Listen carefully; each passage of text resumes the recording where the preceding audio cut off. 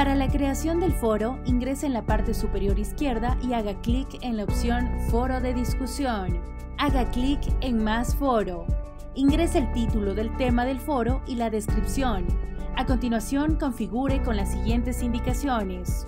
En publicar se recomienda mantener la opción todas las secciones.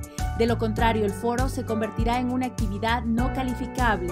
En opciones se sugiere seleccionar las siguientes configuraciones. Permitir respuestas agrupadas. Los usuarios deberán publicar antes de ver las respuestas. Calificado. Permitir respuestas agrupadas. Los usuarios deberán publicar antes de ver las respuestas. Calificado. El resto de opciones queda decisión del docente.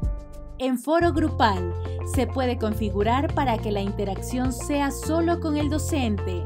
En este caso se deja sin marcar visto. Y si desea la interacción con el grupo de alumnos, debe realizar la siguiente configuración. ¿Cómo crear un grupo?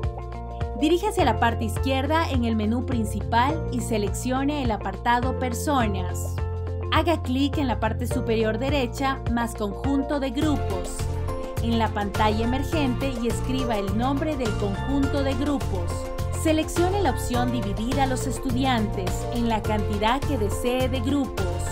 Marque la opción Hacer obligatorio que los miembros de grupos pertenezcan a la misma sección. Haga clic en Guardar.